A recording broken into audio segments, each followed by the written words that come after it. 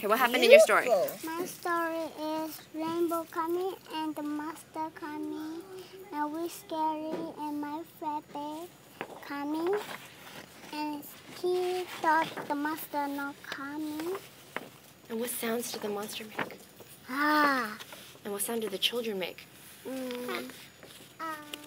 Uh. What did the children say? Uh. Have. Have. Any other sounds? Mm.